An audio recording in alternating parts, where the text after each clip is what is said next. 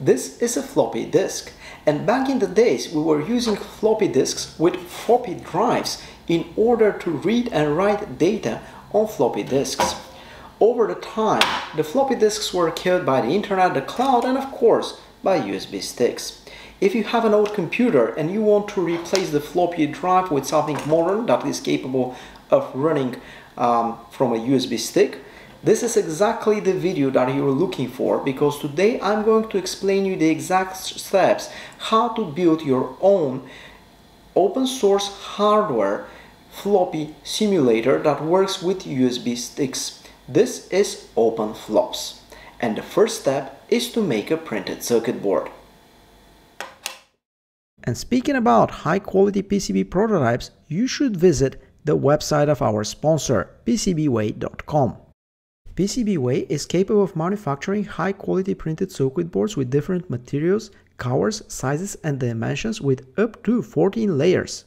Furthermore, PCBWay also offers assembly services, CNC, and 3D printing. OpenFlops is an entirely open source hardware project. The schematics are available in GitHub and they have been shared there by SukkoPera. OpenFlops has been designed as an alternative of Gotek as an open source hardware floppy disk drive emulator or simulator. The printed circuit board has been designed with the popular free and open source software KiCad, which runs on Microsoft Windows, Mac OS, and Linux distributions, OpenFlops has the same dimensions as the printed circuit board of Gotek, therefore it could be used as a drop-in replacement with all cases that are compatible with Gotek. Furthermore, SukkoPera, the author of this uh, OpenFlops printed circuit board, has shared Gerber files ready to be manufactured in the shared project directory of PCBWay. Therefore, you can order it with single click without worrying about the different configurations of the PCB. This is exactly what I did and in a few days PCBWay manufactured it and shipped it to me via DHL. I received 5 high quality green printed circuit boards with white silk screen. As you can see everything was very well packaged and the delivery was super quick.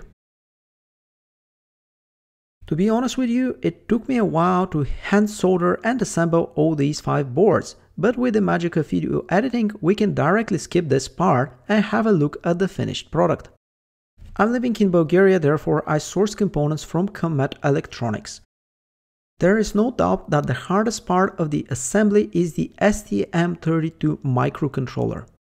And by the way, if you're not into soldering, PCBWay also offers an assembly service so you can get the printed circuit board fully assembled from them.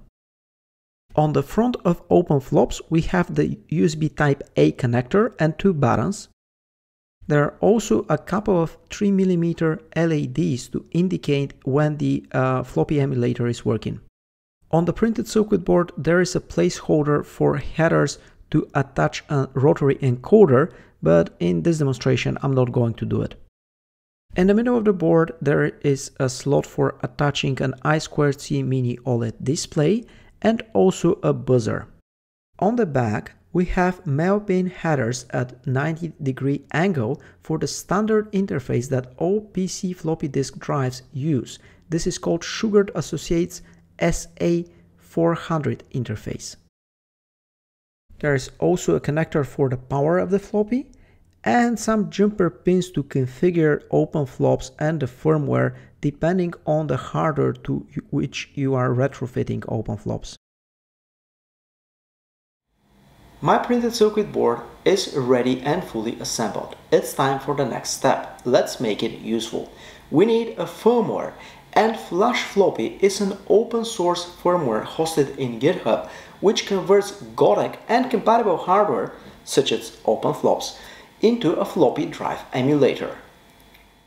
The author of the project is Keir Fraser from the UK. Flash Floppy supports a massive range of retro computers, synthesizers, and old industrial machinery. OpenFlops comes with STM32 microcontroller and there are two methods how to program it. The first method is to use USB programming and the second method is to use a UART to USB serial debug cable in order to flash uh, flash floppy uh, hex file to the STM32. I'm a Linux user, therefore I'm gonna take the second approach using this uh, UART to USB cable and the STM32 flash uh, command line application. The benefit of the particular UART to USB that I'm using is that it also provides a pin for 5 volts so I can directly wire everything to the open flops. Using a jumper, I'm gonna temporarily shorten the boot pins in order to put the STM32 microcontroller in flash mode. Please have a look at the description of the video for a link with more details about the wiring. It is important to note that RX goes to TX and TX goes to RX. I'm using Ubuntu Linux on my computers and I have installed STM32 Flash. Now it's time to run the application and wait for about a minute so that uh, the firmware will be transferred to the microcontroller on OpenFlops. After successfully flashing, remove all wires and the jumper that connected the boot pins. My OpenFlops is ready to be used with Flash Floppy and now it's time to assemble it into the old computer that I'm trying to revive. Actually, I'm renovating not one but three Amiga 500 units. In order to retrofit OpenFlops in Amiga A500, I need an appropriate stand. Luckily, there is an appropriate 3D model shared in Thingiverse, link is in the description of the video, and I'm using my old 3D printer to make several of these units. My 3D printer is quite old and honestly I rarely use it nowadays. However, it is good enough for this job because the stand that I'm 3D printing will be inside the case and will be barely visible. I would even say that it's not going to be visible. I also need a few screws in order to mount it inside the Amiga 500 case. I soldered additional 4 wires to be able to have the mini OLED display out of the case. Finally, we're on the last step and it's time for a demo.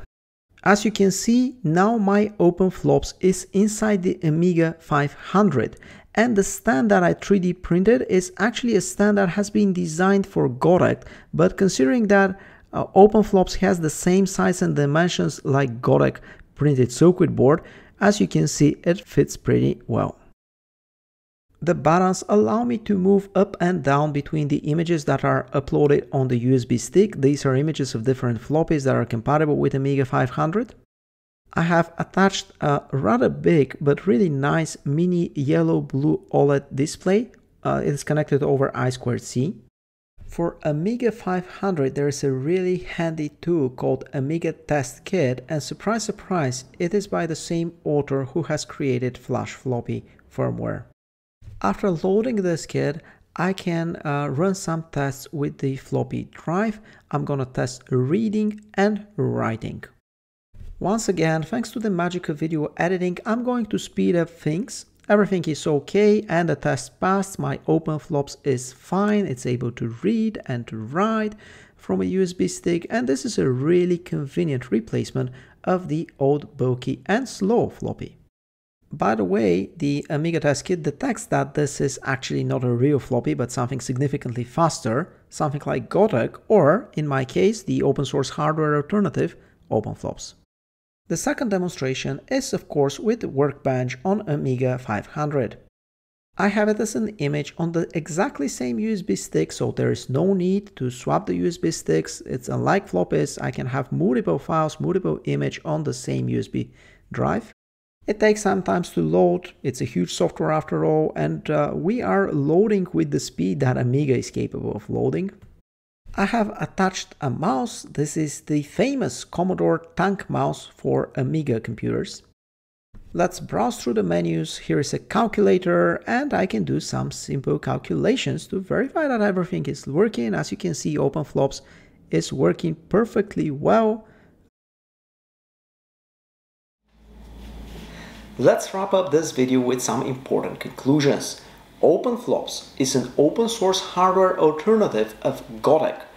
It is a floppy drive emulator that uses the flash floppy firmware, which is also open source. I have shown you all the steps how you can build open flops from scratch. It is a great gadget and it's the perfect tool to revive an old PC and to bring it into the new times with USB stick support. Thank you for watching. If you like this video, Subscribe to my YouTube channel and stay tuned for new videos.